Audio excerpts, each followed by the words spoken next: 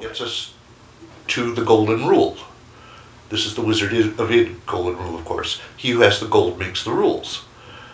That it then becomes important to know how the rules for the economy are established. Who gets to make the rules? We're going to have rules about how the economy is governed, but how is it determined who gets to make those rules? And so that's that's what I'm trying to do in, in that, that class is just to raise those kinds of issues. So because from what we learned, a lot of the um, a lot of the people who had money was the nobility, especially Mhm. um, you know in the medieval time and even afterwards and to the modern era. I mean, well not modern era, but you know, 19th century nobility played a huge role because they had all the money Sure. And they make the rules. and they make the rules. Right. And they make the rules to help them keep their money. Right. so, and that's what I meant when, when we were talking about Africa. That now all these like these affluent people who were in charge and these generals and all this, they had you know they were the most powerful within these societies, and now they are now put in power because that's a. Do you, do you believe that's a Western way of doing economics? Or you Oh, I think that's. I, I think you'd find that in most places, at most times, people have made rules so that the wealthy get to keep their money. I feel like that's just general. I mean, what did we learn about in Beard? With Beard. Right. Yeah. I guess suppose so. that was a good book. I That really was. enjoyed It was. book. It was a lot of reading, especially some pages. But Like- it wasn't. It wasn't difficult to read though. No, it was really simple, and I liked it, and I liked how controversial it was, and that's just not, like, just aspects, another aspect of you know our nation that we don't talk about. You know, a perspective that, whether or not is right, it's our interpretation of whether we think it, but why isn't it an open discussion? Why is it that we can't have discussions about it? That's kind of the issue I have with it. You know, that it, it, it raises some good points, that we should be able to talk about these points, but the government's like, no, no, no, no. No, you can't talk about this. you know, that, that, that to me is a problem, what the government can say is acceptable and not acceptable for society. When society, society should be the one that's saying whether what's acceptable or what's not for it. So, government interference, government interaction, whatever you want to call it. Um, that's just my that's my take on it. You know, just uh, what nobody should be able to tell me what I can and can and can't read or can and can't write about. Yeah. You know, I should have that right to do that. You know, as a as a human, as someone learning history, it should be something that's presented and something that's discussed, not something that's hidden Yeah. and not you know. As we talked about earlier, was that you know that's what Kant argues in his "What Is Enlightenment." Mm-hmm. Suppose I'm. I'm still thinking. I mean, I'm still on Nicaragua because I'm, it's still fresh in my mind. But I suppose Nicaragua, from what I read, is one of the only countries that if the United States pulled out any aid, which it already has in the past, it will still be one of the only countries in Central America that can be self-sustaining, and that is through what the Somozas built up through their dictatorship of all the programs that they were making money off of, keeping their status quo alive. They were still in turn building up Nicaragua, which is why, because of the systems that he was putting in place, the economic structure of of Nicaragua was was there. Nicaragua's trade was just huge globally. And she said when she was younger, the Cordoba, which is the Nicaraguan currency, was seven to one to the American dollar. It was it was pretty close, and now it's that's you know, inflation has killed it, but it's still it was consistent at seven. It was consistently there to where the lifestyle in Nicaragua was higher at times for some people, like her, because she was affluent. It was higher for her. So when he was thrown down, she kind of lost a little bit too. Hmm. So she, so it was kind of like embedded within his administration. If he was successful, Well, not just not just him, but his family, because his family was in power for over forty years. right? So if they, so they kind of embedded themselves Yeah. with it. That's insane. It's crazy to think about. And I I think there are economists now, from what I've read, that they say if they overthrow Ortega, the Nicaraguan people have enough juice within their economic structure to keep them fiscally Hmm. going. And you're not gonna find a single thing like that in Nicaragua. I feel like because then they'd be like, okay, now we can just overthrow them if we're gonna be okay. Which is hard to think about because a lot of the revolutions and civil wars and things that happen, you know, of overtaking governments, they kind of just get to that point. Like when we learned in Kishlansky with um, with the Glorious Revolution, like, all right, we got rid of the king. Now what? That's Well, always just seems to be the. It leaves a power vacuum. it does.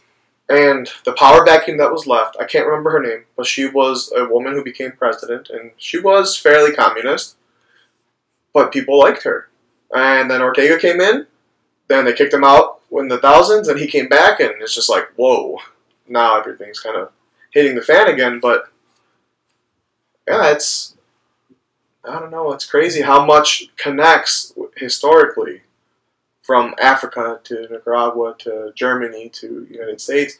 You know they're all connected somehow and it's i guess maybe that's where learning the skill is important because then you can make the skill connection around everything else. If you know how to do research and figure, find out things for yourself. You know, mm-hmm. Which is part of the reason i do want to teach at a catholic school instead of a public school because you aren't subjugated to those same standards of students need to learn to do this and they need to learn to do that. You know within a, a catholic school system you know you still have to learn some type of catholicism but teachers are given the freedom to talk about what they want. Oh i had a teacher in high school who uh, would talk to us about you know conspiracies. It, it was a history of chicago course and you know he liked to swear a lot in his class. Which was fine. And you know he had us write a conspiracy paper on whether harvey lee oswald actually killed kennedy. He showed us videos he gave us the evidence and said okay go to town. And it's the only thing i remember from his course. But i remember more from his course than other courses. Yeah. because we were given the freedom to think for ourselves. It's a big thing. That that's something I told you I wrote in, in my paper. Like that that shift into like having this like free thought, free way of thinking. I feel like that needs to. That's where I want to style my teaching around. Like to have students really open their minds about things. The, the first lesson I ever taught, um, which happened like a month ago, because I've been observing for so long, and it just it, at a point it just gets boring. Really, I mean, three semesters worth of observing. I did, it's supposed to be two semesters, but I wanted to do that, like continue the extra semester of observation because I know if I didn't, getting back into observation would be pretty rough. Like I wanted to be able to still be in the classroom and still be able to, you know, move into things, and then in the summer, you know, not lose too much, retain some things, and then when I get into, you know, my next observation, it'll be okay. But I taught my first lesson, um, and it was they were learning about Enlightenment thinkers, and uh, there was a quote from each Enlightenment thinker, like whatever they like. Um, oh God, like Voltaire and um, all those guys. I can't remember their names right now. Montesquieu, you know, all of them. he taught this lesson a month ago and he forgot Yeah. Well, we took their like their philosophical idea, and we changed it into more of like a school related question. So like our um, our girl students the same academically as boy students? Do you see the glass half full or half empty? Do students have the rights to make their own rules in the classroom? All these like these controversial questions, and they had to say whether they agree, disagree, um, strongly agree, strongly disagree, and then they would get up and they would choose one side of the room and we would read the questions. But the idea was when I watched the students, uh, you know, choose their side, I asked them like, "Why'd you choose this side? You chose it. You can't just say I don't know, or there's too many people over here. You know, why would you choose it?" And I really wanted to see students like the gears start turning to really understand that, you know, to take these questions as what they are, but to also think in the general sense of, you know, the society that you live in. You know, do you see the glass half full or half empty? You know, um, do can you um, do you have the right or can you make your own rules for yourself and things like that? And just to really get those gears turning. That's what i wanted to see. And that's what kind of like changed the gears into uh, why i want to do teaching because i feel like through history we can do that. We can have these kids ask these hard questions that we haven't come you know that we haven't um, recognized or like reconciliated with ourselves about like the issue with slavery and the south and um, immigrants in this country and all these different issues that we don't talk about because people are sensitive. Like I mentioned earlier, it's a sensitive time for Yeah. people in America. But I feel like with this next generation and how tech savvy they are and how it's there's there's no filter. Like I have a brother who's in who's in uh, ninth grade, like his freshman year, and just that culture. Because I I hang out with him like every other day just to see how he is. You know, he's in sports and all these you know high end classes and whatever. And I want to know like what how high school is for him and the people he hangs out with and the culture that's happening right now. The culture I'm going into that I'm going to be teaching a year. You know, and to figure out that and how it's changing. You know, to and I feel like that's where it starts. You know, to to really get the kids when their mind is, you know, trying to pick up new things, to change it right there, to make you know more changes so that we can become more of a less less sensitive society because we discuss things and we mm. don't push things down or kick the can down the road like we actually face it for what it is. You know, so. and so, how do you think philosophy has like changed your way of doing history, or has in a good way, bad way? Um, I think, for one thing, I, I am much more comfortable talking about those meta meta issues, metacognitive, metaphysical, meta ethical issues that are involved in, in, in studying history. That's why I like doing the senior seminar. I think that that's a, that's a class that's almost tailor made for me. because you, I, I like raising those kinds of issues. And you, you know, we don't really have another forum in the curriculum where those kinds of issues can be raised. Do you think that we should be teaching these students, like students in high school? I mean, for sure, definitely in higher education. But do you think that these should be something that's at least laid down a foundation for for when they get to higher education for these, or do you think that it's only important in the field that you go into? I really don't know because I don't have a good handle on what high school kids are like now. Rough. But Rough. yeah, but you know, I think we have to do something because the study of history is is too important for decision making in a democratic society, and we're giving it short shrift Yeah. because it doesn't seem to be practical. But you know, to me, you know, there's just so many issues that you can't address if you don't address them through a historical lens. Well, everything has has a history. Which is why, yeah, I mean, that's why I'm studying history because you know I do just about anything. Yeah. But the first thing I would do is throw out the textbooks. Mhm. I would I would get rid of them without a doubt and replace them with monographs, even at the high school level. There are some good, well written monographs that are perfectly suitable for uh, a, a high school level audience. Because the problem for me with the, the, the textbook is that that comes at you as an authority. You know, this the contents history becomes it is your job to memorize the content of this book because we are going to play Jeopardy and it is your job to spit back the obscure facts on this test at the appropriate moment. Yep. Yep. And the idea of engaging with the material, thinking about the material, uh, questioning the material isn't there. And it also, and this is why I, I teach the way I do, is that that approach destroys your ability to really interact with nonfiction. Because you start reading nonfiction as if any book of nonfiction is approached as if it was a textbook. So the idea, I mean, nobody looks for a thesis in a textbook.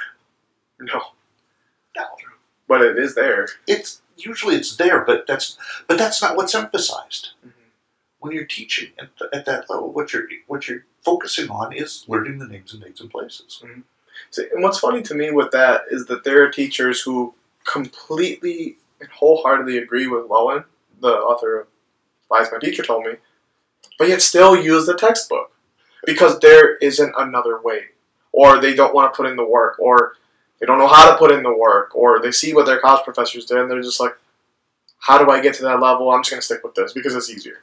You know, because then how much of it is going to be a heartbreak for you as a teacher because your students aren't going to do the work because maybe the material is too complicated because you have students with you know different IEPs and trying to present that type of information to that to those type of students is going to be you know you have to really water it down so they understand. So where then can you put you know a seminar style class in a high school do you think that would be even viable I don't know. Again, I don't have a sure good sense of, of where, where students are, but I feel like that'd be a good question for Dr. Lakaitis. yeah, Because Dr. Lakaitis has a little more experience with the younger yeah, seniors here, or the younger freshmen here, which are still seniors in high school mentally. So- Well, the same way freshmen are still eighth graders mentally, and True, and sixth graders are still fifth graders. you know, what, and, But but go back. but at the end of the year, they start to mature a little more. Right. But Yeah. you know, I'm sure he has a little more of a of an understanding of how high schoolers are just from how the the freshmen are in his class. but yeah, I, I, probably does. But my, my thinking is that you're not going to get students to mature in their thinking so long as you continue to treat them as immature. That's why I love when you would say write a reflection, or professors would ask for reflections because there's not there's not really a right or wrong answer. Of course, there's like, well, is it in line with what you Yeah, read? did you are you even coherent in your writing? right, but it's just if you have that idea of what it's trying to talk about, then you can get that out of the way and then talk about how you really think about it. Yeah. And your perspective on it. And that's where the critical thinking comes in. And that's where really expanding that's the part I want kids to that's the part I want kids to get is to expand on creating their own argument, using evidence, analyzing text and like using it all together to make an argument because making an when I was writing these papers, making the argument was the fun part because it's like Yeah. what is it that I'm going to be researching? What is it that I'm going to be doing? And how many times I had to like go different directions and where I wanted to go. The amount of times I had to delete pages just to start somewhere fresh and start somewhere new. it's heartbreaking. It is heartbreaking, but at the same time, once you once you have that, it's like, well, that was better than what I wrote before. Yeah. Now it's better structured. But to then you add your own like opinion, your own, you know, aspect of what you're thinking, and that just makes you know things so much more fascinating. That's why in my 1,000 level classes, I've stopped giving exams. Yep. It's all, they keep a journal. And that's all I ask of them is a Yes. journal. Really? Really. How does that work? So you just they write down every class, or They, they need to do a, a reflection on each chapter of the book that we're reading and then on each class session. Okay. And it's not too bad. Do you No. give them time in class to do their reflections? it's- okay. no, it's- for discussion.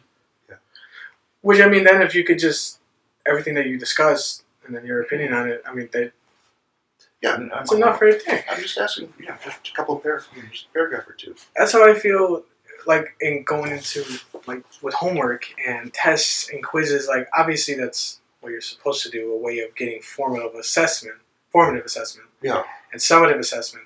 But I feel like that's just going to continue to do the same thing that history is just a memorization of names, dates, and places. Whereas if you're writing, it could be different. You know, giving maybe the students a, a wider variety in what to talk about, and maybe a place where they can add their own perspective, because that's the whole point of you know history, because everyone has different perspectives. So You brought up a question the other day when I asked you to come onto the podcast if I think that students should do podcasts instead of papers or, you know, along with the papers or whatever. And I, I do wonder if the quality that you're looking for, I, I, did, I did raise some questions like, how are you going to judge the content? How is it going to be? But, you know, similar format to a paper. Um, and I do wonder if you may hear a better argument verbally because you know, our day and age, we are pretty skilled with technology where people are on Facebook and Snapchat and all these different social medias expressing their their wording and however they want. So do you think within a podcast that would be you would get more out of a student? I'm thinking that I, I'd like to give, I'd like to make the experiment, because let's face it, when you get out into the real world, nobody writes a five paragraph argumentative essay. Yeah. Nobody cares about what your margins are. Nobody cares what font you use. Yeah. and yet, you know, we spend so much time saying you must have one inch margins and you must, you know, you must have the this this is the heading. I want the date in this format and all that kind of petty stuff that n- nobody outside of academia is ever going to care about. So why not do something like a podcast, which is something that students are, you know, conversant with. They know what a podcast is. That's one of the reasons why I started having them do these short documentaries Mhm. because well one of the things is there's a unit in the class where we look at documentaries on food and we analyze the documentaries because i i think that just as we don't bring we don't teach kids how to read monographs we also do, don't teach them how to critically analyze a documentary and how much information do we take in through documentaries but you know we don't we don't give people the tools to analyze and so that's where so the idea is we watch some documentaries analyze the documentaries and then they go make a documentary of their own Okay, I like that. And have you found it to be successful? by and large uh, you know uh, you know there, there's nothing here that's going to win an academy award but I think that because first off it's team team taught. I mean it's a team project. Mhm. They're doing something that's of interest to them. I mean, come on, who doesn't like going up to Devon Avenue and walking around the shops there or going to a restaurant? You know, it's a food course. So you go to a restaurant and you photo, you know, you take a, make a video of your meal. It's not hard, and you know, it, and you do a little bit of research on Devon Avenue. You do take some pictures, put in a voiceover. It's not it's not hard. It's it, so it beca- I think it's a fun project for most of the students. Mhm. Uh, the the problem comes, you know, when uh, you know, obviously not everybody is is skilled in videography, and you know, if you're just using your phone, the quality of the images is not terribly great. But that's you know, for first time through something like that, I think it's fine. Most of the, yeah, so most of the time it works pretty well. So, do you have free rein on how you want summative assessments for uh, for a class? I don't know. As, as, a, as a professor, Yeah. yeah. No, I don't have to. I don't have any particular kind of thing. The summative assessment in the food class is that the student presents a family recipe. Ooh. They they write a family recipe, and then addend- uh, as an addendum to the recipe, they write a, a short essay in which they describe the significance of that dish to their family and their family's history. And then they write a second short essay where they talk about the history of the dish or some aspect of the dish, whether it's a particular ingredient, where it came from, how it got there, or something about the techniques in it. And then I'll take all the uh, 70 uh, recipes, put them together, and everybody will get a cookbook for Christmas. Oh, that's really cool. Damn, That's really really cool. that's awesome. Wow. So, Wow, that's awesome. wow. See, that's what happens when you have free rein to do Yeah, whatever the you want. But no, you get the creative freedom You get the creative and the freedom. au- you have the autonomy to. Yeah, And- I- that's, that's awesome. and the and the student and the thing is, if you're not a historian by training, you know, you have a real interest in training, you're only going to remember stuff if it has some relevance to you. I think that's what Becker Becker argues. Mm-hmm. And so, if you're talking about the history of a dish that comes out of your family, you're going to remember what you've learned. You know about where cinnamon comes from, or you know how potatoes got to Ireland, stuff like that. That you're going to remember because of the, the personal connection. Mhm. And if I were to, you know, just to to put down a, you know, to come up with a multiple choice test about food and history, would take all the that would take the air out of the course. It would be kind of a disservice to what you're trying to do as well. Huh. Because the idea is, you know, I frankly don't care what they learn out of this course. What I Yeah, I want to hear this. No, I, I know. I, I don't care what they learn out of this course, so long as what they get out of it is that studying history can be fun or interesting. That's fuck. Yeah. Because no, I mean, This so is this is experience here. Yeah. Like that. This- this- what you have is pure experience with teaching. This because you know most of the time you spend fighting people's the attitudes that people have towards history. They, they come in, they've had bad experiences, and you have to fight it. And so what I try to do is basically disarm. You know, create a, create a situation where uh, people are you know they're reading stuff that's interesting. I mean, did you know, for example, that the origin that if you trace the history of ketchup back, you'll come to a per, uh, Chinese fish sauce? I did not know that. I did not know that. no. I guess I don't know much about the history of food. Uh, Most it's not History. not one of the you know not one of the major topics, but you know, That's still that's still Just- interesting to know, though. Yeah. yeah. Not that it's gonna come up and you know. But but cocktail parties are Yeah. True. Did you know? yeah. That's you know what. That's something I've always struggled with because one of the biggest things that they talk about in our educational classes is connecting with the students, and um, that is just a great example of how to you know to connect with students and to actually have them interested. You know, because we could just lecture all the things that we've learned, like how the world is. Like if I were to just lecture everything I've learned this semester alone to kids, I'd lose You'd have to start a podcast. I'd lose all of them in a matter of like five minutes. Mhm. You know what I mean? Every day. And you're not supposed to do that. You're supposed to have the kids interacting with the lesson and to actually want to learn about that. And I feel like that's something that we need to focus on. Me personally, I need to focus on making it more interesting for the students. Then, but I feel like just that alone, you know, what I mean, like comparing to what they have in the textbook, compared to what we've learned, and showing the students that contrast between it, saying, "Well, what do you think?" That will bring students to really, I feel, in my opinion, to really ask those hard questions and to actually be interested in. not, not in my experience.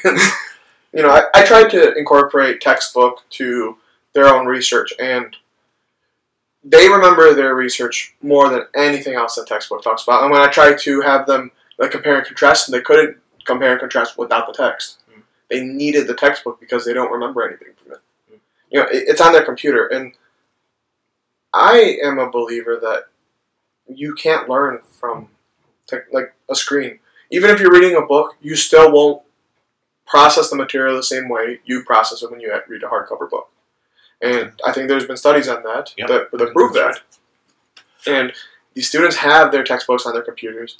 They don't remember half of the things that they learned from the textbook, but the things that I've taught them outside of the textbook, you know, the assembly line activity that I did with them where I shut off the lights and I took a pencil, I snapped someone's pencil in half, or I fired people and you know, I had students become foremen of these companies where they were drawing out T-shirts, uh, which eventually led into the Triangle Shirtwaist Factory Ah.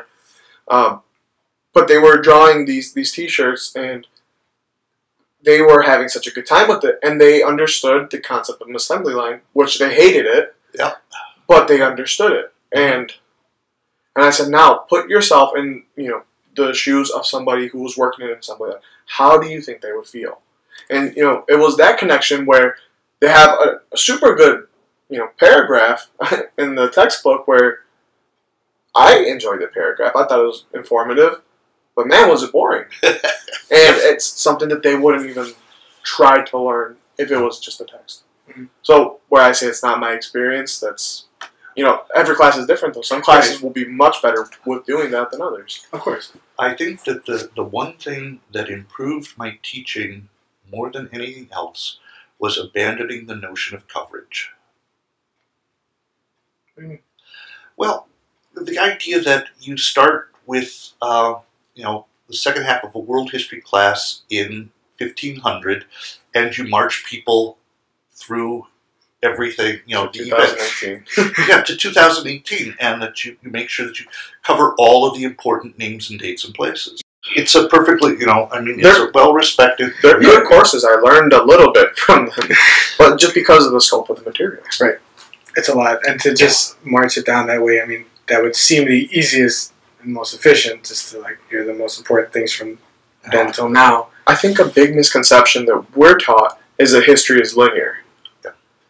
Um, you know, just like, you know, I think that we'll start getting into like the meta spiritual and metaphysical thought, but you know, it's not linear. The way we can pick and choose what we like and how it still goes around and connects somehow with today is something that's starting to be taught, at least in schools, but it's not there. And I don't think it's going to be there until you have that groundbreaking person who really it helps to push it. You know, and I, I do think that it's going to start from the university level. I don't think it's going to start from second grade. no, I don't think there's anybody in second who teaches second grade that has the kind of authority that would make No. a kind of change like that. But it always starts with the younger generation, with everything. With most world changing events, it starts with the younger generation. Like the Revolution of 1848. It's just a lot of, in, in like Germany and all over Europe, it was young kids. Like these like these younger generation having this these new ideas and these new concepts are like, we need to enforce this. And the conservatives are like, no, don't change how things are because things are good. always how it's going to It's be. always gonna It's be still like like that today. I fear. I, I, I would like to intervene in this, and I I think I'm fairly progressive in my teaching, and I've changed it a lot. But not, not every not everybody. well, I'm sure. I'm sure if you had an older, an older, older professor in here who really liked lecturing, who thought lecturing was the way, would would combat you on that. Yeah. Oh, no, no, no, no, no, no! You need to lecture. Students don't get it if, uh, unless you don't lecture. And I think that we have teachers at North Park that are very lecture heavy, Mm. and that I don't remember content from classes because it's so lecture heavy. Mm. You know, our education courses sometimes I am just not enjoying them because there's so much group activity. But at the same time, I'll take more out of those classes than a class that just sits there and lectures me for two hou- two and a half hours, and I'm just like, "What time is lunch?" So, which is which is why I, I did tell you that I enjoy your format of classes where students have the rein to speak as they they feel Mhm. and participate to conversation. And I've never learned more about Europe from what we learned last semester. So Good. I don't know. It's to me uh, that seems to be the style of history that I would like to teach in. But I know that my style of learning is so different than anybody else's. You know, it's different to your style of learning, and trying to format that to fit a classroom is going to be very difficult. Especially like this semester, I had students, and at one point I set a bar lower so they reach it, and once it hit that point, I'm just like, this is terrible. Like this is really bad. Like I thought, you know, the amount of work was going to be sufficient for them, and they would pick up and learn the material. They got great grades, but they didn't learn the material, Mm. and that's because I set the bar lower for them. And when I start setting the bar higher, I started getting a lot of like lip service because you know how students are when they have to do extra work. No one wants to do work, but they were actually starting to learn things. And when I expected them to do a a group presentation on a robber baron, which I assigned to them, they learned more about their specific robber baron and how robber barons are, what a monopoly is, what a trust is, than they would have ever mm-hmm. from the text. Cause it, it's boring, man. No one wants to just sit and read and then have to. But that's the, blurt out the but that's the issue to with history. That's the misconception with history is Right. that it's boring. I have a, a woman in my ESL course because I the course I'm in is with all the the graduate students. Uh, Dr. Bartolome said that she wants to take students who have past experience with ESL courses into her course to get the higher level thinking with the grad students. And you know, a lot of them say, "I hated history until I became a grad student," where I realized history is not what I was taught at all.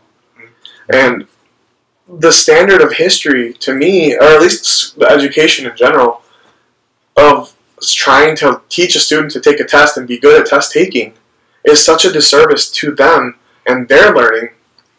Because you have students who come out of school saying, I hated that experience, it was the worst thing in my life. And then you have that purely academic students who are like, oh, that was fine. So, you know, I look at my little brother, for example. He hates school now. He graduated from high school. He did he did pretty well, but he couldn't tell me what he learned in history courses. When I asked him, you know, what did your teachers do, or what did your teachers teach you? Do you remember learning this? I remember learning about it, but I don't remember anything from it. Yeah. And and that's the issue. You know, I asked him, oh, what'd you get in your ACT though? Oh, I took the, I got a 24. I'm like, if you retook it, could you get a 24 again? Probably. And that's because he knows how to take a test, Mhm. but he doesn't know content. He doesn't know what he learned. Yeah. And now that he's trying to, now he's in college and he doesn't like it, he wants to go to trade school. He feels the what he's learning in trade school is more applicable to the real world than it is to academia. And he's like, well, now we have to learn. He's like, because he went to uh, IBEW 134, and he's like, well, in the classes we're learning how to bend bars to 90 degrees, and we're doing like tangent and cotangent and all these different like you know trigonometry within 30 seconds. And I said, well, I bet you never thought you were ever going to use it in the real world. And I said, that's where the applicability comes in with things like that. But how do you get, how do you change the misconception in history that history is a field that doesn't work for students? Because I, I'm sure you have students come into your class who sign up who are just like, oh God, what did I do? Oh, come on, it's a GE class. Nobody wants to. GE's, I mean, everybody, I mean, the phrase that most is, most commonly connected to GE is get out of the way. Get the Yeah. GEs out of the way. it's true. So, you know, nobody's there because they want to. Nobody's saying, oh, I have to take this course because it's such a fun course and I'm going to learn so much. Hmm. So, you know, that's one of the things you have to you have to get that barrier. So that's why I've taken the approach that I do. So it's completely disarming because it's not like anything they've experienced before, and so they can now try and approach history differently.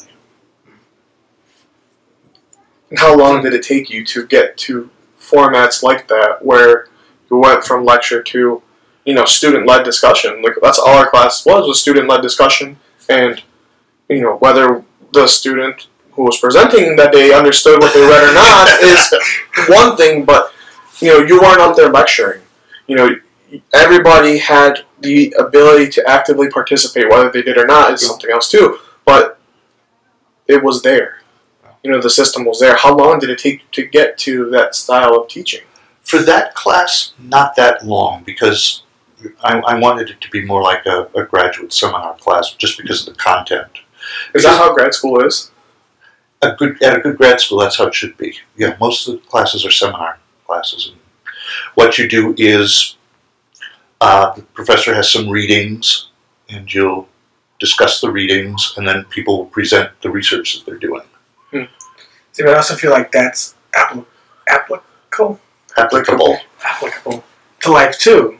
I mean, to to sit there and talk about a reading like you are expanding off ideas, you know, sharing those ideas with y- your fellow uh, graduate students, and just coming up with something completely new, disowning something, whatever that you're reading, and it's to have that communication between people. That's extremely important, and mm-hmm. that's ne- necessary in society as well. So I feel like we just need to get you know past that barrier that it's Now, part of it is that you have to be willing to to realize that there are going to be bad classes. Right.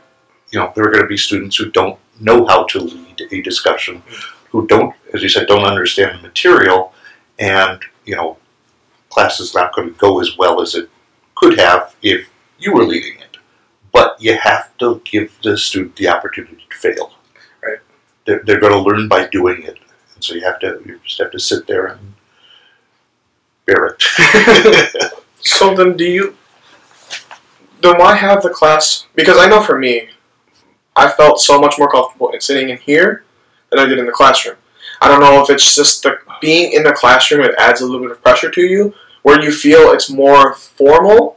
Which of course class is formal. Yeah. But sitting in class here with you uh, last semester or well last year now. Yeah. Uh, it was like, hey, this was cool. I really enjoyed that. I, I, I would, felt- I would have much preferred to have the class in here. It was just a matter of numbers. Yeah. Uh, just how can you change the classroom world then within your class seminar? Because is there a way for you to have a class seminar in another area where it's like, you know, couches and people can come in and sit down and relax? I, well, not, not relax, but you know what I mean. I have been arguing for 25 years now for a seminar room, and falls on deaf ears.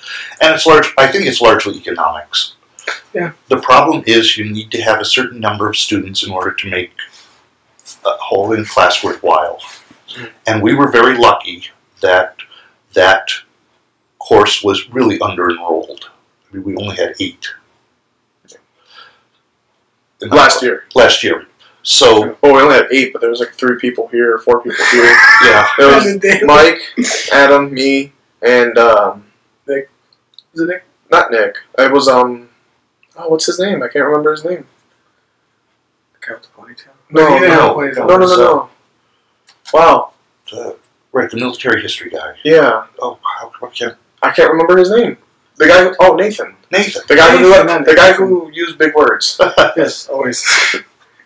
There was a joke that we had that he was just reading the dictionary and using big words anywhere he could without actually comprehending what they meant. but it's like he drove conversation. He really did. Whether he was right or wrong, He added to the conversation, which is what I liked. Yes, he was he was very good, holding his own, and and also what I like too is that he was persuadable. yes. You know, if he if you convinced him otherwise, he would change his mind. Hmm. Which is this is why I like you know the seminar type of discussion. You know, just having students come together and just bounce off ideas from each other and like, oh, well, I thought this way, and maybe you know the way that you think. I mean, creating something new almost out of you know these discussions. That's Well, you create even creating controversy in your class is still pretty cool and exciting and fun to see. As a, I'm sure as a teacher, it's just like, yes, this is kind of what I was hoping for. Yeah. You know. So why don't we have more seminar style classes? Why is it that, you know, because we, Raby has seminar like lessons, and I think those lessons go really really well. And other professors, uh, Professor Docker, I think she had a seminar lesson like once in the class I took with her, and I thought that really went, well. And I picked up material and I learned, even if it's something so minute, like here they lie dragons, or here there be dragons, you know, something like that. but then I, I start making the connection back and thinking back about what that class was about and why we were even talking about that in the first place. but things like that is, is how, for me, at least how I remember things. And you know, so why doesn't the history curriculum have more seminar style courses here at North Park? Um, as I said, I, first off, I think it's first off economic. You, you have to have a certain number of students in order to make the, a class viable.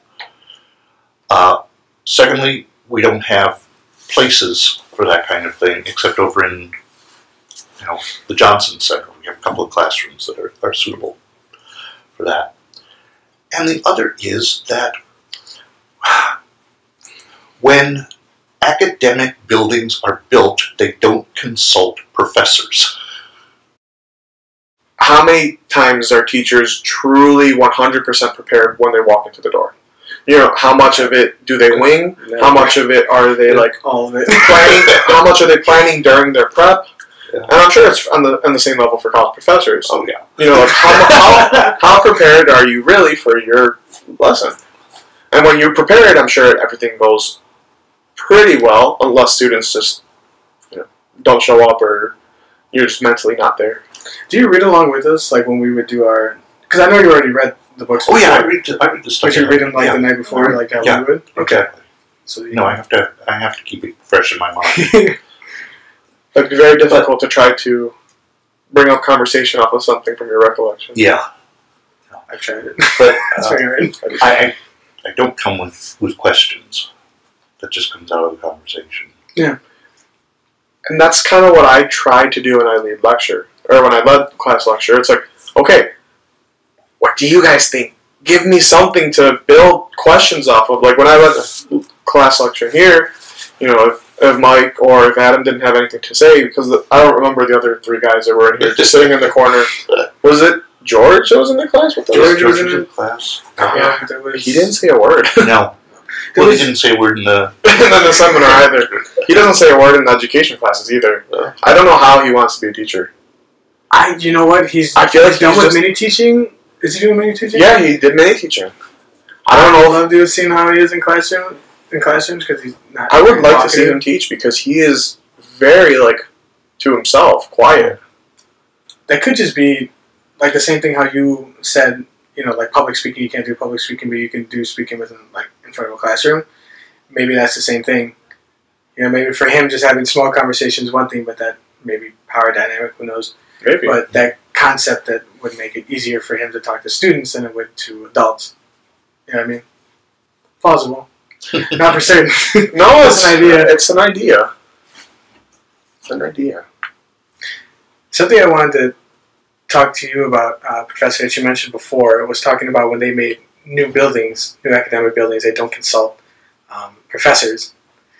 Um, I feel like that's a trend that they do with all teachers and all levels. They don't consult the teachers when making big decisions. The Board of Education aren't even consistent, uh, or consist of Mhm.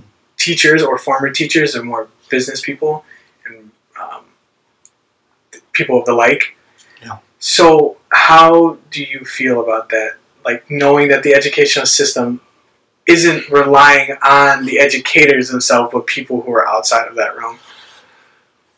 Well, you know my work on the German educational system, and that's, you know, this is when I get to the chapter on the United States. This is one of the things that I'm going to to emphasize. I mean, the the Germans set it up so that the professors were in charge. We have a system in which the board of directors is in charge, Mhm. and the board of directors is by and large businessmen because they can raise money and buildings get built not necessarily because there's an academic need for it, but because some donor wants to put their name on a building. Wow. no, that's yeah, that makes a lot of sense. Hence, the Johnson Center. and Carlson. Well, actually, Carl North Park was actually did a, a good job with with a couple of these buildings. Carlson is named after a missionary, Mhm. So it wasn't a donor. okay. Um, Old Main is not a. no, I don't. I don't think it's a person. no. Uh, but in many places, many schools, it's just a matter of, of who's donating the money. Yeah. Uh, and so it's more what a donor wants than what Yeah. you know. And, and the other thing is, too, very small frustration on my part, but I want to have my my thousand level classes. I want them arranged in a circle. But that's not how the chairs are arranged. When you go into the classroom, it's all rows. So I have to do the rearranging. Mm. And I can't leave it that way. I've got to put them back Because of the after next class, class. because of the next class. Ah. if I had my own classroom, you know, I could just. But you don't. You're sharing classrooms, so you can't have it the way you want. Mhm. And it's a it's a small thing, but it's you know it's a nuisance. The other thing, uh, get along with that, is that the the classroom is arranged so that the projector and the screen are on one wall.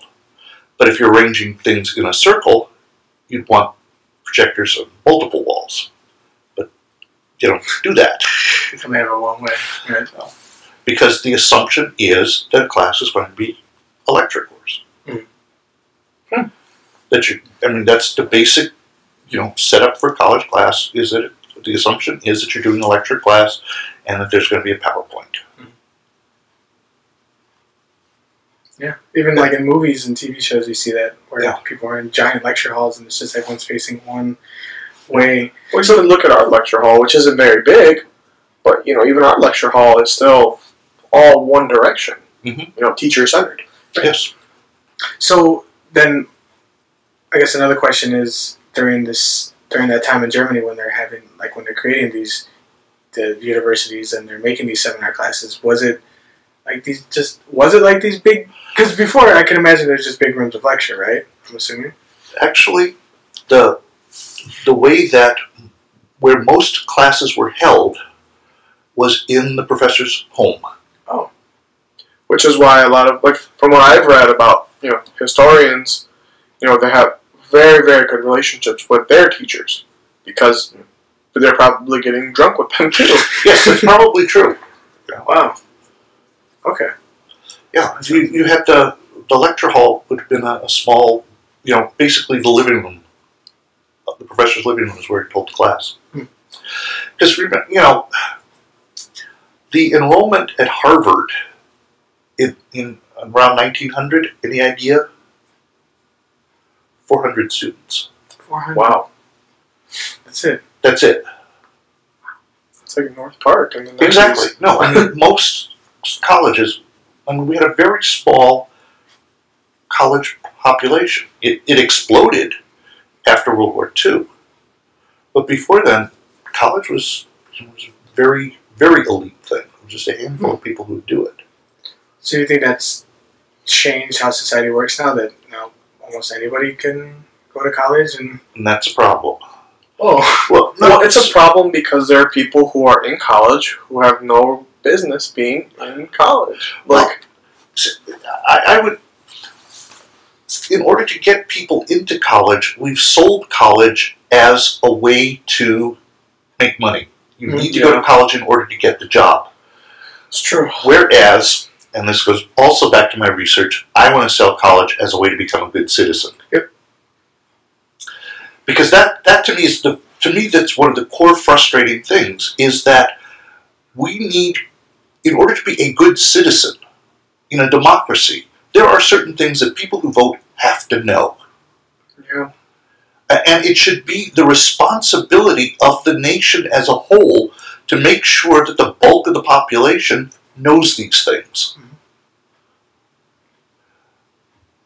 So that so then why is it that they, you know, from like the '60s and '70s, where college was almost free, you know, did the U.S. government or did capitalists view college as a way like, hey, hey, hey, look at all these people going to college, let's make some money, or did they want people to not be protesting the way they did in the '60s against the Vietnam War? You know, was it that because too many people were going to college? the government was like, hey, hey, you guys are seeing too much of what's actually going on here. So they tried to make it expensive again, or made it expensive so people didn't go. But then now I think they're capitalizing it as well. Is that some? Is that like at least a viable thought? At least? Oh, no, of course. I mean, you have a group of people who believe that college professors are lefties and that our job is to radicalize students. And so you want to make sure that either college is so expensive or it's you don't want your tax money going to radicalize students. So it becomes then, you know, instead of looking at education as a collective responsibility, we need educated people in order to have a functioning democracy. There are people who look upon it as college is your responsibility because the purpose of college is to get you a job, and I don't want to have to pay for you getting a job. Damn. yep. Wow. Wow. Mhm. And the person we have most to thank for this is Ronald Reagan, who, as governor of California, well, technically, um, I believe the public sc- public universities in California are still tuition free, but you pay through the, the nose with fees. That's that's how UIC is too. You know, my little brother, they say that the base tuition for all in-state students is like five thousand dollars. That sounds very inexpensive. My brother this semester has to pay over ten thousand dollars because of fees, and I was just like mind blown. That's like that's so unfair. Of course, And this is probably why people choose private education because at least there's a little bit more. Um, it's a little clearer in what you're paying for, unlike you know going to UIC where it's all in the in the hidden uh, text. charges. So you would rather them smack you with the full price and smack you with a lesser price with more fees. Well, yeah. In the end, Why why claim that something is a certain price when you go and get it and it's like four th- four or five thousand dollars more than what you're actually charging, and he's not living on campus. Wow. He's commuting every day, and it's still that expensive. and it's still that expensive for him. So I saved so much money by commuting to this place. It's a 45 minute drive, but God, it's so worth it. So much more money's been in my pocket ever since. It's incredible. Well, you know, that's one of the big. I mean, for me, this is one of the big frustrating things is that you know, I know that, frankly, a lot of the kids that I'm teaching, I am ripping off because they're not getting out of my classes what they should be getting out of it, and they're paying huge amounts of money and not really getting an education, and it's just very frustrating. I mean, I, I feel, you know, I feel like I'm kind of dirty almost. You know, it's, you know, he's a con man. on a certain level, yes, unintentionally, but I won't. I won't. I'll, I won't admit that. I'm not gonna put that in. yeah, But it's it's interesting. Just the, the educational system and the lack of care almost for the like for the people who are actually in it and are seeing it day by day are not the ones who are consulted. And I don't know why we've decided to take that route. I know money, obviously. money and and the other thing is is the man what's called the managerial revolution around the 1800s, late 19th, early 20th century, late 19th century. Uh, and it's really un- unfortunate that you have this. Uh, we we developed the field of scientific management, uh, Taylorism. Uh, he was a guy who uh, was what we would call today an efficiency expert.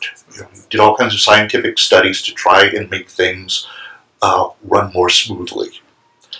And one of the group of that he developed was the school principal.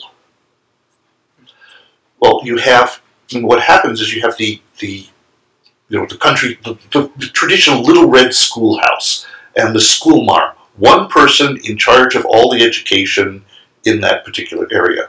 Now you put them together in an urban school and you throw a manager on top. The principal. The principal is not somebody who's been in the classroom. The principal is somebody who's gone off and studied management. I mean, I can understand why they would do that, but just I don't know. That seems it doesn't seem right to do that. I think no, I don't think it's right either. So then, would you say that it's right for somebody who was a teacher to then take those classes to become the principal of the school? Well, what is the value added that the principal brings? Uh, a more, co- I, I would believe, a more cohesive uh, group of teachers who are trying to teach a core value that the school is trying to push. But like these these people Cultural who are, diversity, for example. these people who are in management are like theoretically um, taught to like do things a certain way, right? Well, which is, which And so why then when they get into the actual, you know, school, all that theoretical bullshit's out the door, and now you're stuck with the real thing. And the only people who truly understand that are the teachers. And now this guy ahead of us has no idea what the fuck's going on, and now we got to deal with him. So- which is That's what doesn't Which make is why I sense asked the question, though. What about uh, somebody who was a teacher at one point, who then became a principal, who has an understanding of how classroom management works, who has an understanding of dealing with parents and dealing with students, and Or why not just have the teachers get together and have a faculty senate? Elect a leader. Yeah, within the other teachers. Like there is a like a in the fa- in the faculty department. There's We the head of the department. Why can't there be a head of the teachers? Where each of the heads of the departments are each. It seems so simple, but why don't we do it? It tell that to the government who's funding your school, though. Well, that's the thing is that we've we this is this is why I'm writing what I'm writing because we have embedded this system, and the to be the system is fundamentally. I mean, from the get go, the system is fundamentally flawed. because, I mean, come on. Is Betsy DeVos really the most qualified person we can find to run the Department of Education?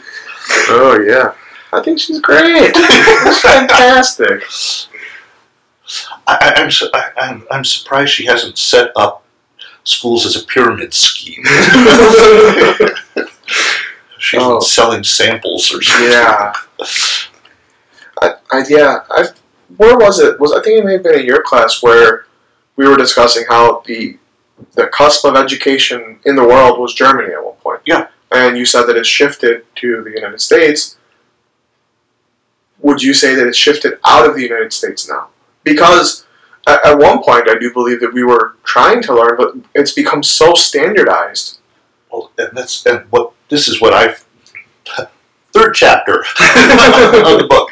Uh, in Europe, as part of the European Union, they're going through something called the Bologna process, Mhm. and the idea, All Italians. well, the idea was that just as you know, if you're a citizen of Europe, you can live in any of the countries in Europe. So the idea was to uh, make it so that if you were in a university in Europe, you you could go to any university. You know, if you were a college student, you could go to any university in Europe. The problem is how to coordinate all those different academic systems. Well, that's where the, uh, you would need a bureaucracy, correct? Well, yeah, and what they decided to do was adopt the American system. So Uh, they're now so now it's going to be credit hours and seat time Ah, that determines, you know, what kind of education you get. Hmm. And damn. uh, German, there are many German professors that are up in up in arms Yeah. because they, they love their system. so, are you opposed to the credit hour system? Oh my goodness gracious, yes. See, for me, even thinking about college, I know about credit hours because of you know college prep schools, but I didn't know there's other systems other than that. I thought that you know our way was the only way, and that's it. You know that it's been a system that's been established for such a long time, and you know, the the credit hour system uh, was first developed at Harvard, and the idea was that the uh, president of Harvard had studied in Germany, and he wanted to bring this idea of Lernfreiheit, freedom to learn, because it had been the case that in American colleges you had this prescribed curriculum. You know, you you just went in and you started your first semester, and the courses were all laid out. You had no electives, no options. It was just go through the curriculum, and when you got out after four years, you were done. Mhm. But he's decided that he was going to bring Lernfreiheit. So he decided that we're going to, you know, have, you know, just people taking courses. But of course, this being America, you just can't give people the freedom to choose whatever they want. You have to direct their freedom. yeah. And so now we he then created the, the credit hour system. And so now you know that you're done with your course with your coursework, not because you've reached the end of the program as you did with the prescribed program, but after you've collected this 120 hours worth of courses. That's insane. Of course it's insane. Man. You know, you would think that from all the, you know, ed- educational like reforms and the way people were thinking in, in the back in the day, like you would think that it would carry over. It's, but it's just no, Because what we what we did in the United States was, I mean, this is chapter four.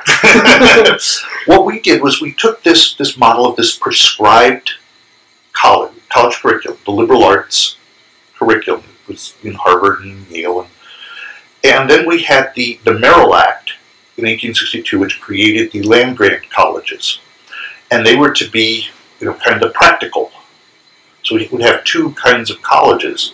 But many of the land grant colleges also wanted to have the liberal arts college. So we have this one institution that is both a liberal arts college and a career college, and we smash them together. Then, in the 1870s, we start the uh, imitating the research university. So we put a research university over these two things. So we basically have in this in our Wow. country three different approaches to e- education, all slammed together in one institution. It's the same umbrella. Yeah. That doesn't seem.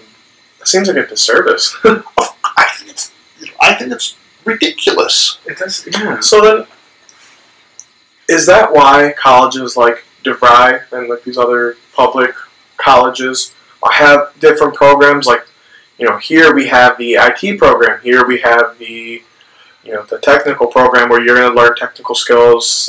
You know, electrician, uh, pipe fitters, whatever. Because yeah, because Although, while it's still under the same umbrella, it's Yeah. more but focused. but they also don't bother with the liberal arts part. yeah. That's just a pure technical school. But doesn't DeVry have other sections too within where they have liberal? I'm not sure that they Or am I thinking of a different college? Can help you.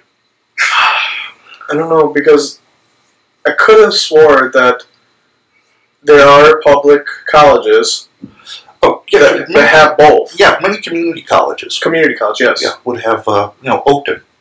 Okay, Yeah, they have both a, a liberal arts section and then the technical. sure. And that's kind of what I was. Yeah, but you know, the associate's degree that you get, you know, you don't have to take any liberal arts classes to get an associate's degree in auto mechanics. Sometimes I take that for granted, like liberal arts aspect of the school and like that connotation that people have when it comes to liberal arts. Yeah. I remember I was talking. Of course, we were drinking very heavily after work.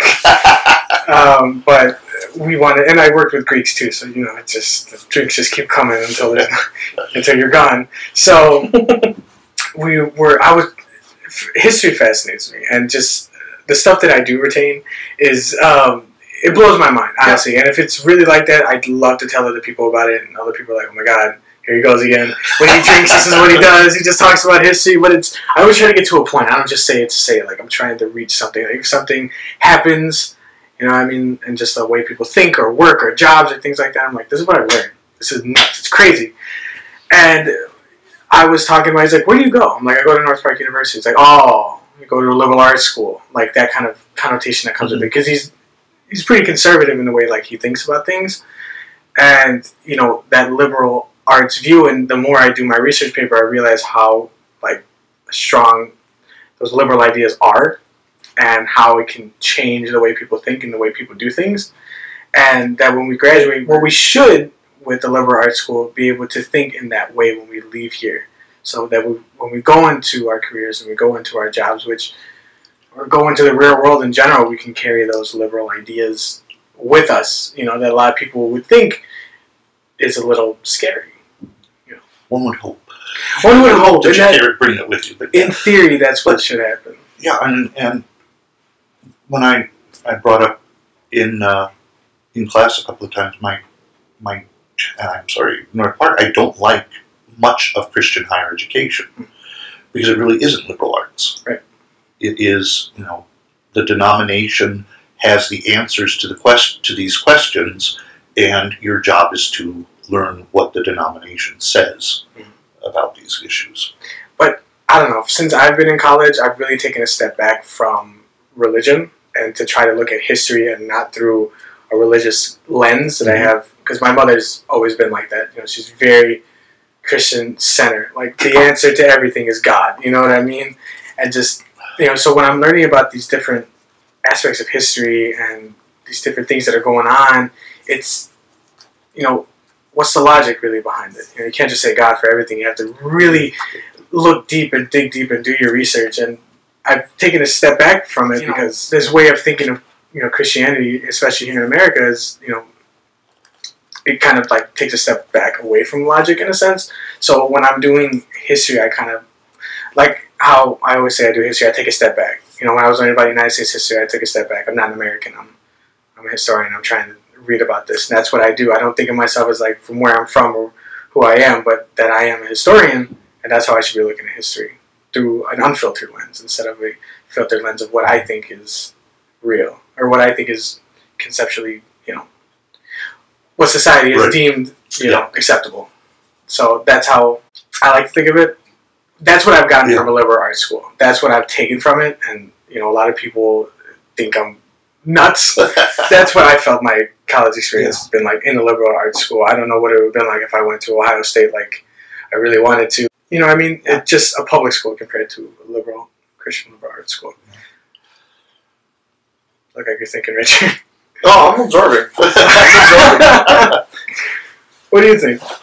I don't know if I feel that I was so influenced by the liberal arts, maybe because I had to work so much. Yeah. You know, my college experience was a lot, you know, being so spread out with my time, I don't know if I had the time to dedicate to actually viewing it, like, you know, from your experience. But I do feel that I'm smarter than I am when I first came in here. I feel That's good to know. well, you know, I, I do feel a little more refined with my thoughts. I feel that I am a complete different person, and you know, maybe the, the liberal arts do have a little bit of an influence on it, but you know, I, I do believe that it is my choosing to change and to learn because I think, at least with our history program, you know, you're given the option to either learn the material or not learn the material. if you don't learn the material, well, that's on you.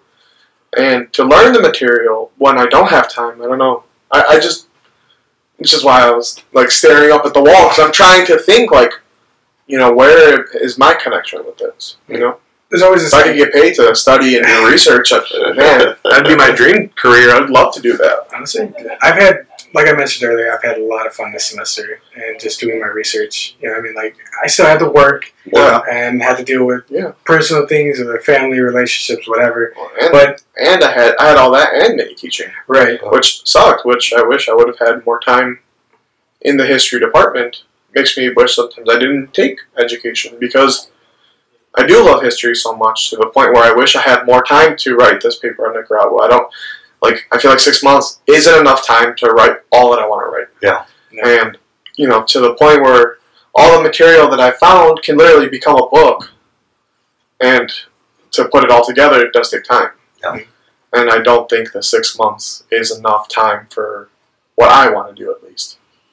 You know, So- it's not so much a research paper, more so than thought-provoking work that I'm trying to put out. Right. You know, or that's my goal is to be thought-provoking.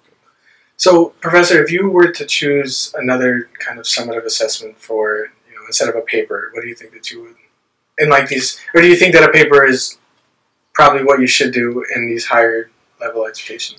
The the three thousand level, 3,000, Yeah, 4,000 level classes. Mhm. I don't know. I I the the research paper is kind of a standard because it forces you to use the skills that history should be teaching. you Research and thinking for yourself and Yeah. all of that. Writing well. Uh, but I don't know. What do you think about a documentary? I, I definitely love that idea. Yeah. Documentary or podcast? Yeah, I think those would work because students actually, for me, writing is kind of hard just because I write how I talk, which is always a huge problem. because I'm supposed to do that. Um, but it's easier for me to talk it out and discuss things than it is to write it down. Well, I, I agree with that. Do you think that a seminar course should be two semesters long? Ooh. Because I don't know if half a semester or a semester is enough to to truly continue to push these metacognitive. All of us in that class are at a point with our education that it's, it needs to start getting more complicated with thinking. You know, it's not so much that we should continue to sit down and lecture, take notes. I think that we as university students are a little more involved in that. Mhm. And I think by having seminar style courses, and if it was a, a semester long or a year long, I almost wonder what you would see from day one to the last day. How much of an improvement or how much refinement you would see with students writing, with students thinking. And I feel the students coming out of a you know year long course are going to have a much stronger understanding with whatever you're trying to get out of the seminar, even if it's just understanding history Yeah. or understanding how history has been developed, than just six months of it. I love how you made the argument last semester that professors kind of like fight for attention almost. Yep. They do. I love that do. because it's true, and I, that in theory is awesome. I agree with it one hundred percent. That it should be a whole year of capstone that of the seminar, you know, so that we can have a better understanding. But students just have mini teaching. Some of them have student teaching. Some of them have you know other classes that they have to do as well. And then it's like, well, where do I put my focus and attention into really doing that thinking? You know what I mean? And that's why I feel like maybe a year would be better because only 6 mo- only six months. So is that how grad Or- school works then, basically, or because that is something that I'm thinking about. Mm. I'm already No. looking at grad schools and dreading because I have to go pay to take the GRE to get into some grad schools, and it's like, oh god, another ACT type thing. Yeah. Yeah.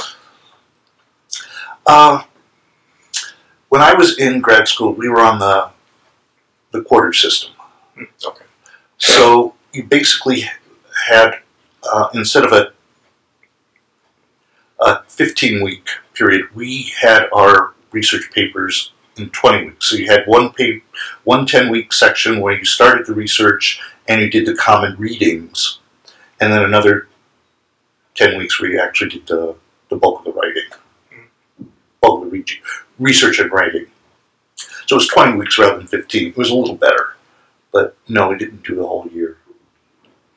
Do you think a whole year worth of a seminar course would be good, or do you think that would kind of do a disservice to the course? To, to be honest, I think that the problem with doing it over a year is procrastination. Mm-hmm. Uh, with the, on the end of the students or the professor or both? Both. Mm-hmm. But, but mostly the student who's going to wait till the, I mean, even though I, you know, gave, you know, I made it very clear from the beginning, you got to work at this all during the semester. Yeah. uh, you know, it just it just doesn't happen. I don't I don't say it's necessarily anybody's fault, but just that there are so many demands on people's time today. You know, you're not the only one who's working forty hours. No. You know, and unfortunately, that's become the, the real common. It's become really common. Yeah. Um, you know, back in my day, uh, it was you know it was more kids living on campus and were able to devote themselves full time to their education. Mhm. The, the student who was working was working, uh, you know, a brief part time job, you know, 10, 15 hours a week. That Well, they were making extra money for themselves, exactly, you know, not to up- pay bills. Right, Right. exactly. The bills were you know, were reasonable enough that parents could take out a couple of loans and pay them off. Was not the burden that they are today. Mhm. But you know, we first off, have you know we are now a majority commuter school, so that means that students are at, first off they have to commute. Second of all, they're at home, so they have the home distractions. Right. They, they can't sequester yourself on campus. Plus, many of them have to have jobs. And I might be shocked, but when in the early years of that of this seminar, I had the book list was nine books, Wow. nine Full books. full books. Wow. It's a lot of books. No, It's it, a lot of books, it, but- it is. But if you have students who aren't who are dedicating themselves to their studies, then it, it's viable. Yeah, but, you know, it's you know, what like a like fifty pages each class, which is not an unreasonable Yeah, if that's all you're doing. that's all you're doing. But you know, it's it's completely unreasonable nowadays. Yeah, because we have this conception of like Yeah. the working student. If, Yeah. you, if you pulled up nine books for the semester, I'd have been like, oh boy, oh boy, this is gonna be uh, Yeah, a tough tough semester for me. well, and if you you know, you know, imagine trying to lead a class discussion or have a class discussion with you know, Fifty pages a night. you know, and you know, it just it just wouldn't work. Yeah. I mean, that's just what we're what we're left with. Just students who you, you got to work. That's You have to. and it's troubling because how much more can you learn when you like throw yourself into your studies? You know what I mean? And just that that's what I love. You know, the time that I gave for my papers, just like dive in. Felt like I was almost there sometimes. But Yeah. just like to get into that mindset of thinking. Yeah. That's why I told you it was kind of hard to shift gears when I was writing your paper compared to writing Yeah. Professor Raby's paper. But just when you do that, it's just I, I love doing it. Of course, yeah, it's it's fun. it's fun. It really it sounds nerdy, but it's it's fun. You know what I mean? Yeah. Like just to do that, to really get into something in your work. You know, that's what I wanted from you know a college experience, but just North Park ended up being a lot more expensive than I thought. Well, So, and I mean, any college is going to be like that nowadays. Yeah, it's, it's, So- it's ridiculous. you know, I look at my little brother who's working two jobs, and you know, my parents told me my agreement with them to pay for school because I came to North Park to play football and to join the ROTC program and to Yeah. get the full scholarship from ROTC, and you know, that was going to be my college experience, which I ended up, you know, failing out the first semester because I ended up dropping the football team my second semester because I sustained way too many injuries within a short period of time playing college football. You know, that could have been prevented by coaching staff, Yeah. but they weren't. Hmm. And I didn't like that. No. And when I tried to get the ROTC scholarship, there was so much. There, there was just so much politics that were involved that I passed everything, every requirement that they asked for. I still didn't get the scholarship. Hmm. And, you know, and I'm not saying anything bad about our Samoan population here, but it was all the Samoan students who were getting the scholarships. Hmm. And I don't know if there were guarantees. And I, think you see that too with because you were on the football team. Mhm. You know, I don't know if it was guaranteed to the Samoans that they were going to get that spot to play football, and North Park had an agreement with Loyola, or Mhm. what the issue was. But it's like, you know, I was running. We were running six miles a day for ROTC. I was running. I ran the two mile in like 13 minutes. I did everything that they required for me to do, and then after that, I would go play football. I would go lift in the morning after the morning workouts for ROTC, and that was the best shape of my life. But it sucked because you know I didn't have that experience. So my parents, my, my dad saw the injuries I had. He said, "No, that's it. You're done." Like he made the decision for me, which I was upset about. I don't regret it, but he made the decision for me and said, "You come work for me. You work for my company. You'll get paid, and I'll pay for your school. If not, you have to find another way to, to pay for your school." Wow. And, you know, that's the option I was given. And, you know, lo and behold, five years later, you know, I'm running the company and still trying to manage school and trying to learn to be the best teacher I can be, the best historian I can Yeah. be. And, you know, as well as trying to maintain a social life by, you know, having a podcast like this because, Mhm. You know, my experience with college, I look at all the other students who live on campus or who have a bunch of friends, it's like, yeah, I can't maintain friendships because of work. I can't maintain anything because of work. You know, all the events on campus. You know, how many how many times did I tell you throughout the semester? Oh, I wish I could go to that, but I have to. Yeah. Absolutely. And, and and that really sucks. You know that they make college so expensive for students that we can't even enjoy a full experience. That I had to grow up so much faster than I wanted to. You know, when I look at you know pictures of Dr. Lakaitis when he was my age, he had his hair dyed, slicked back, and you know, looking like a traditional liberal arts college student. You know, where there's me, it's like, yeah, you don't know. Not all the time I look like a college student. If I'm coming in my work clothes, you guys are like, yeah, this guy's a scrub. but you know, all my clothes are work clothes Yeah. or you know, shirt and tie. That's Yeah. there's no in between anymore. Right. Well- and that sucks. yeah. Well, I, it's you know, it's not just college that's problematic. I think that this is that we live in, and I'm sorry to say it, but we live in a fundamentally mean country. That's such a nice way to say it. yeah, actually, you apologize for it like, sorry to say it. We live in a mean country. We do. No, eh, we do though. I have I have a friend from Ecuador, and he tells me how much he wants to go back to Ecuador because life over there. Yeah, it was hard. He struggled, but he still, if he didn't want to go to work, he wouldn't get fired from it if he didn't go one day. You know, he could sit back and relax and have coffee with his mom in the morning, then go to work, work, and then come back and have a dinner, relax. You know, go play with his friends. Have to not get up the next day, and you drive yourself into work. And Yeah. he, he says that's all it is here. Yeah. You know, Yes. he's, he's 29 years old. He came over here when he was 22, and he's like, since I came here, that's all I've done is work. I haven't gotten the. He's like, I traveled once, and that was to Tennessee. So I haven't had the freedom to do what I want to do. And, you know, I asked him, I said, Have you heard of the streets paved in gold? He said, No, I never heard of that, but I've heard of the American dream. Well, And he said, I don't want it anymore.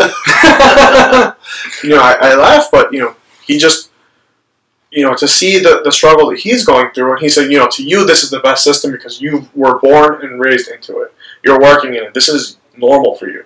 But for me, this isn't a normal system, it's not a healthy system. Which is probably why we have so much obesity, which is why we have so many heart attacks, which is why we have such sick people in this country. We are not a healthy country.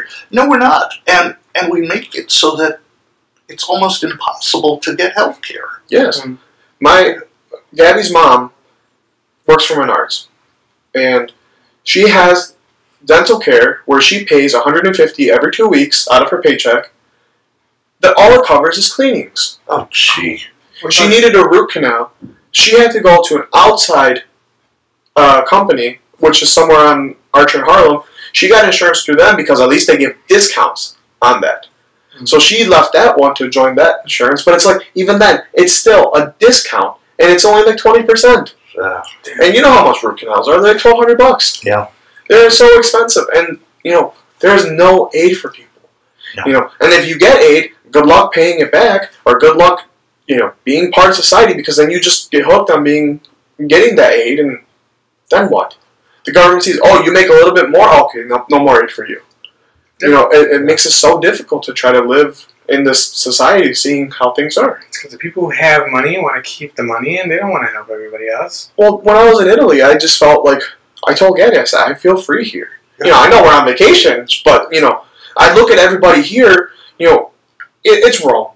I'm not gonna sit there and say, yeah, all the stores closed down for lunch, but stores did close for lunch. Sure. People were enjoying coffee. People were conversing. People were relaxed, and it's just like it feels. It doesn't feel the tension you feel in the air that you do in Chicago. I, I agree. Uh, you know, south of France, if, if I could retire any place, it would be the south of France. Why? Sitting out, to, to have the two hour lunch, you know, sitting outside under an umbrella with your glass of wine, the bright sun, Oh, and it's just, it's just relaxed. Yeah. You know, the idea that most people eat lunch at their desks, even though they're given, you know, you know, given a half hour lunch break, yeah. you can't, you can't take go it. for half an hour? Exactly. Unless it's right next door to you. So you eat, you know, if you're going to take a break, it's fast food, Mhm. which is unhealthy. Yeah. and if you try to get healthy food from that fast food place, it's expensive. Yeah. You know, what's a salad at McDonald's? Ten bucks. Yeah. Yeah, where And you get sick. where, yeah, where you can get twenty chicken nuggets from McDonald's for five bucks. Like yeah, I'll take the 20 chicken nuggets for five it's, bucks. it's, it's a much more complicated way to make food in a chicken nugget, but yet it's cheaper than just something that comes out of the ground grown. Yeah. But it's like even then, I mean, can you really trust the shit they put in the salad? Well, no, no, I'm not saying chicken? that. I mean, come on. I, try, I worked at McDonald's. My brother works at McDonald's. It is the worst. Uh, I worked at a grocery store. Yeah, I know how it is, man. It's just, it's not. It's because there's too many of us. Like we can't, it, we can't simplify things. We can't just depend on farmers to make everything anymore. We have to mass produce things so that we can put food in people's mouths. I mean, you know, My grandma was telling me that there's some place in Mexico did a documentary on, on this self-sustaining guy. He does not touch the outside world at all.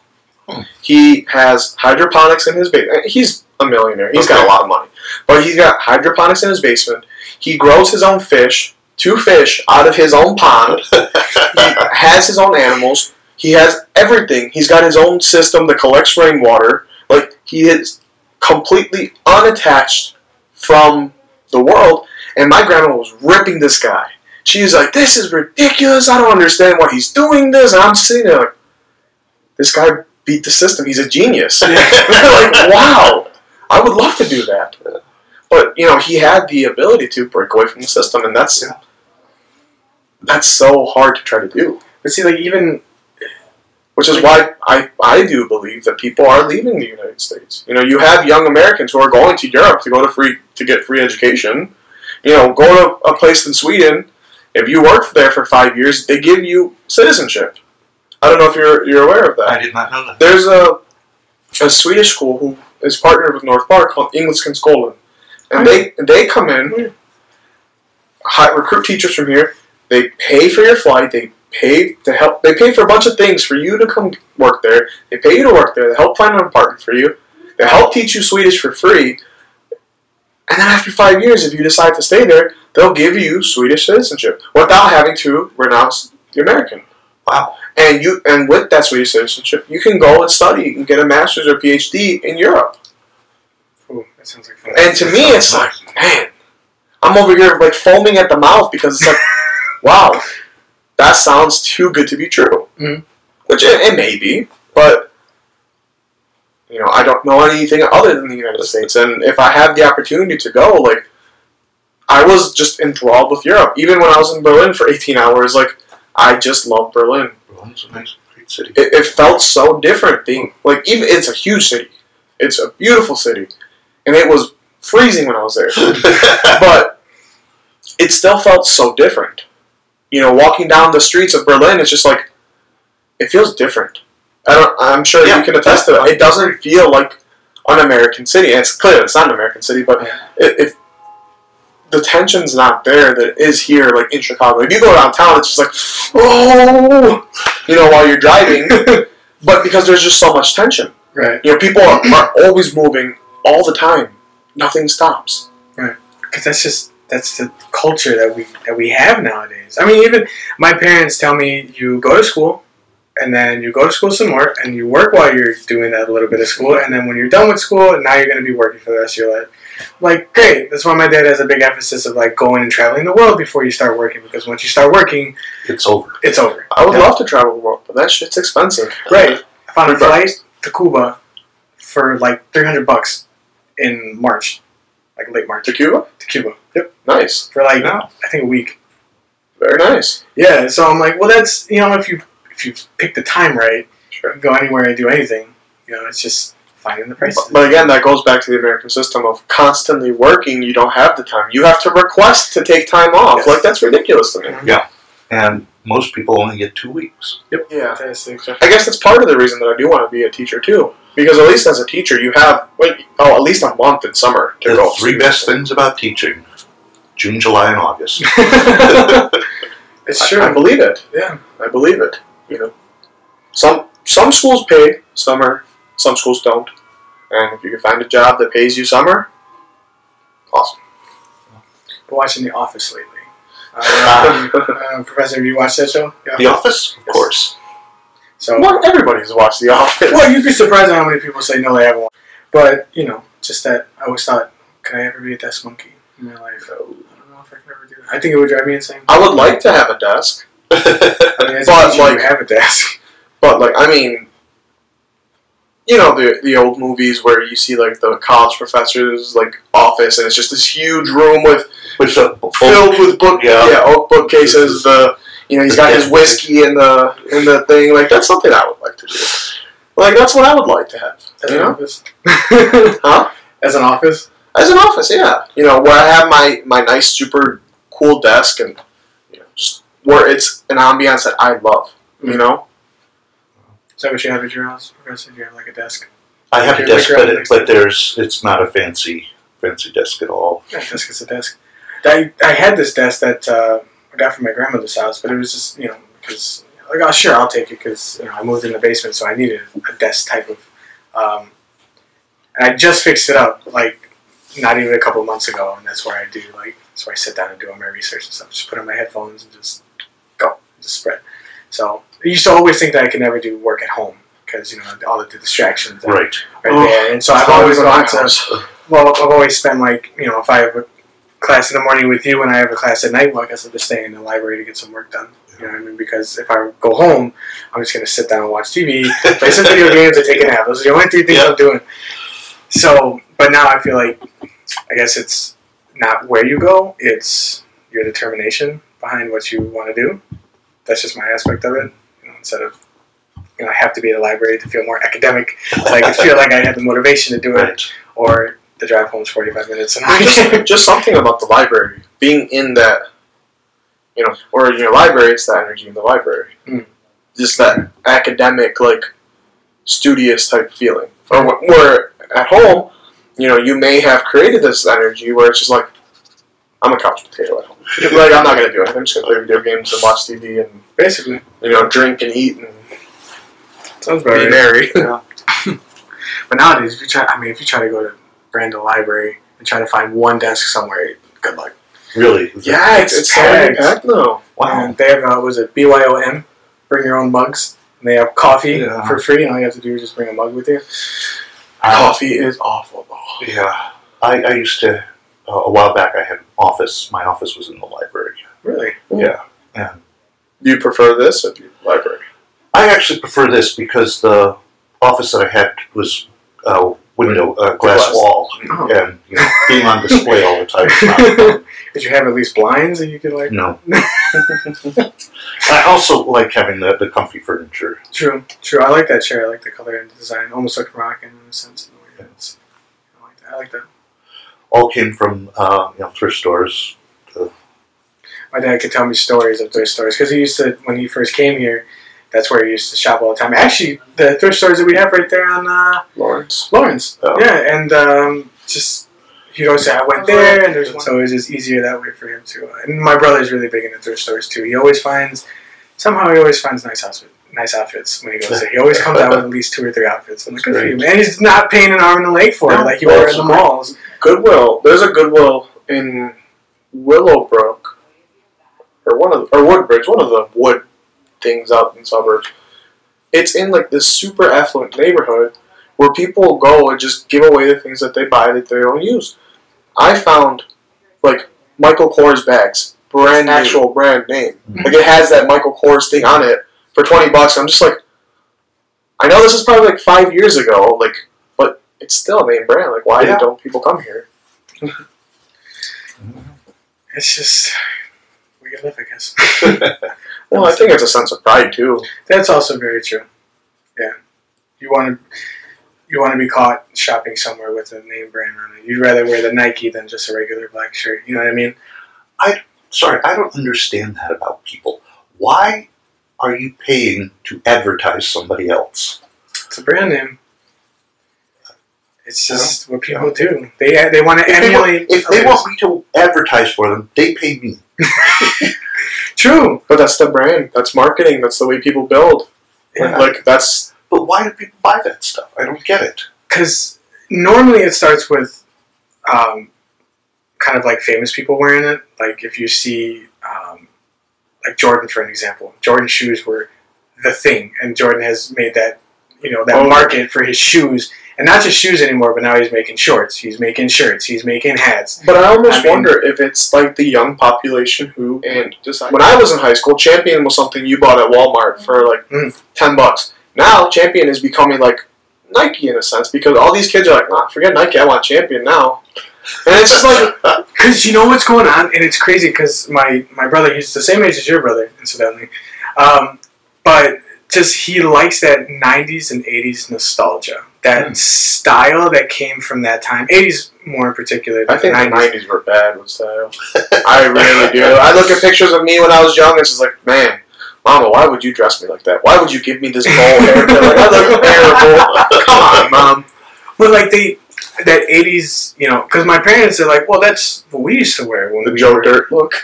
the what? The Joe Dirt. The Joe, Di- no, not like not the mullet, no.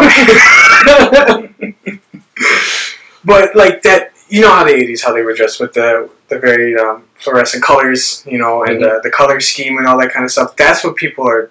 That's what people want to dress like nowadays. That's what the younger generation's doing. They want to emulate that because they just find some something fascinating about it. You know, and I can't find a style to save my life, but at the same time, you know, man, jeans, gym shoes, and a sweater can never go wrong. yeah, right.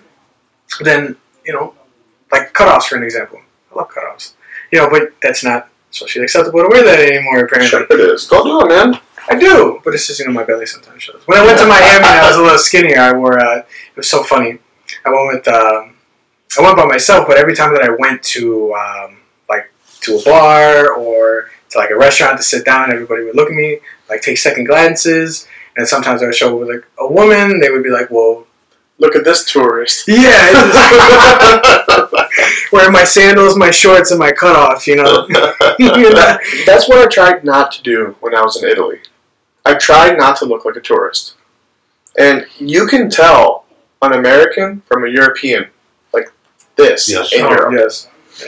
Like You can, you know, I tried to dress up nicely. I had nice cardigans. I had nice like button-down shirts on. I would wear a tie if I wanted to. When in Rome, do as a Roman do. Dress nice.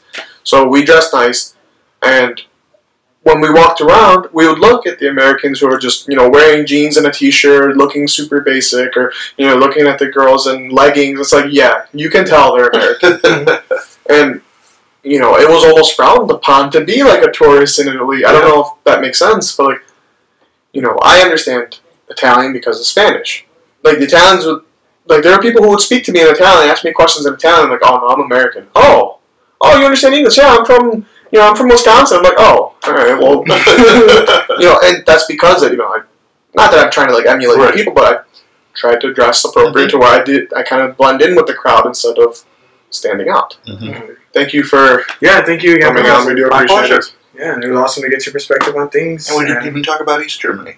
We do not. We We'll- didn't. We'll have to uh, do this again another time if you Okay. if you'd like to do that. Sometime next for me. semester. Yeah. Yeah, of course. Well, that concludes another episode of History's Benchwarmers.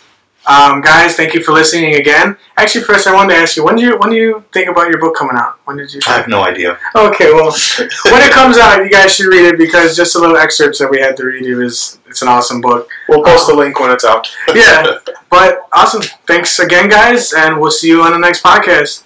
Peace.